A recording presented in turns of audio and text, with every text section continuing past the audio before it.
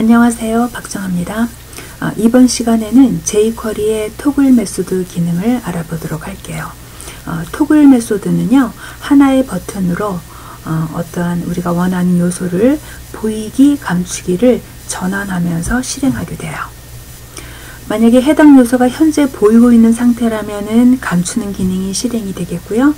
에, 감춰져 있는 상태라면 보이는 기능이 실행됩니다 어, 여기 현재 예, 본 예시에서는요 어, 속성 선택자를 사용을 해서 attribute 선택자예요 이 부분 attribute 선택자를 사용을 해서 에, 거기서 이제 src 속성 값의 일부분의 키워드 요 텍스트가 일치한다면 일치한다면 해당 요소를 캐치해서 에, toggle 기능을 실행하게 됩니다. 자, 먼저 한번 테스트 해볼까요? 자, 저는 노트패드 플러스 플러스라는 프로그램을 사용해서 어, markup을 했어요. 자, 실행하도록 할게요. 현재 오로라 이미지가 있는 상태예요. 자, 오로라 이미지가 있는 상태고 버튼도 한 개밖에 없단 말이에요. 자, 이 버튼을 클릭을 하면 현재 보이고 있다면 감추는 기능이 실행이 될 겁니다. 클릭 자, 감춰져 있는 상태에서 다시 버튼을 클릭을 하잖아요. 같은 버튼을 클릭을 하면 보여지게 됩니다. 자, 이 기능을 공부를 하도록 할 건데 저번 시간과 저번 시간과 마찬가지로 음, src 속성을 src 속성 값에서 일부분의 키워드가 일치한다면 그 해당하는 요소를 toggle시키도록 하겠어요. 어, 이번에는요, 이번 시간에는 하나 다른 점은 섹션의 id 값을 부여하지 않고요, 클래스 값을 부여를 해서 해당하는 요소를 선택하도록 할게요. 자, 클래스 값 같은 경우에는요, 선택자 부분에 점을 붙이게 되죠. 어, 점을 붙여서 어, 값을 적으면은 어, 이 부분은 클래스명이 되겠고요.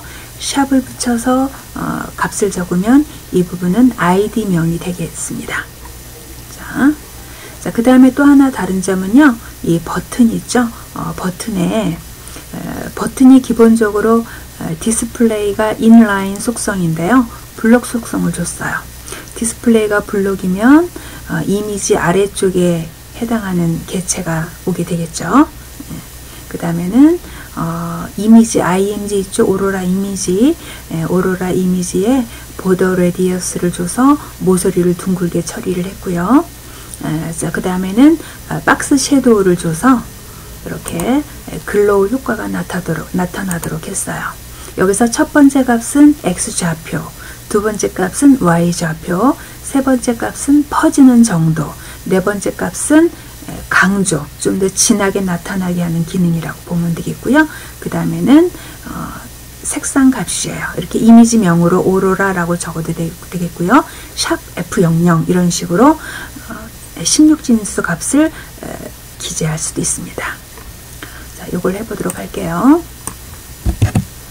자, jQuery이기 때문에 jQuery CDN 주소가 있어야 되고 어, 스크립트 열고 닫는 상태에서 document ready 해서 문서 전체를 한번 읽은 후에 jQuery가 실행되도록 하면 되겠어요.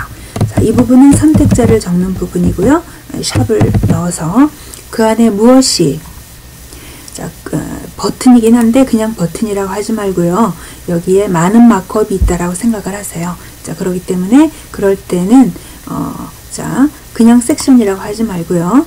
여러 개의 섹션이 있을 수도 있으니까 자, 클래스명이 오로라인 섹션이다. 이렇게 접근을 해서 들어가도록 할게요. 자, 클래스명일 땐 점을 찍고 클래스명을 적는 거예요. 거기서 하위에서 한칸 띄면 하위의 모든 요소들 중에서 자손의 자손 포함하여 하위의 모든 요소들 중에서 버튼 요소가 있다면 까지가 이거예요. 자, 점을 찍고요. 그것을 클릭한다면 유저가 클릭을 한다면 까지가 여기입니다. 자, 클릭을 하면 동작되는 부분은요. 함수로 동작이 되기 때문에 펑션이라고 적어요. 이렇게 적고 이 부분, 이 중괄호 안에 구문을 기재를 합니다. 자, 엔터 두 번 치고요. 자, 탭키 눌렀어요. 자, 자, 그렇다고 한다면 자, 자 버튼에 자 들어가 갈게요. 아이디명이 점 아, 클래스명이죠. 클래스명이 점 오로라 인 것에 하위에 하위에 자손 자손 자손의 자손 포함하여 하위에 자 attribute 선택자 부분이라 그래서 이렇게 적는 부분이 자 어트리뷰트 중에서 src 이미지 주소를 인식해 오는 건데 이미지 주소에서 일정의 앞이든 뒤든 가운데든 일정의 일치한 키워드가 있다면 자, 그럴 때는 아스테리스크에서 는 하는 거예요.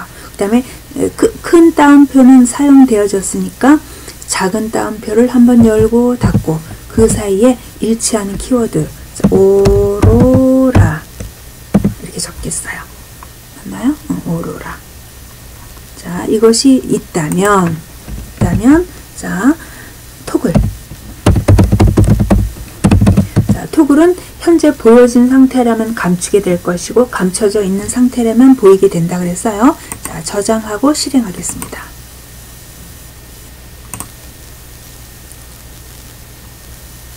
자, 버튼을 한번 클릭하면 감추게 되고요. 또 한번 클릭하면 보이게 돼요.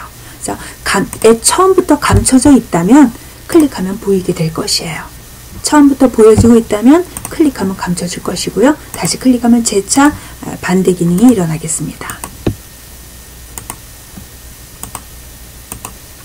자, 그래서 이번 시간에는 toggle method 기능을, 기능을 사용해서 어, 해당하는 개체를 에, 개체가 보여지고 있는 상태라면 감추게 되고 감춰져 있는 상태라면 보여지게 되는 하나의 버튼으로 실행할 수 있는 기능을 에, 공부를 했고요. 그 안에서 이미지를 인식해 올 때, 이미지를 캐치해 올 때 src 속성 값에서 일부분의 텍스트가 일치한다면 그 부분을 그 부분에 토글 기능을 실행하는 것을 공부했습니다.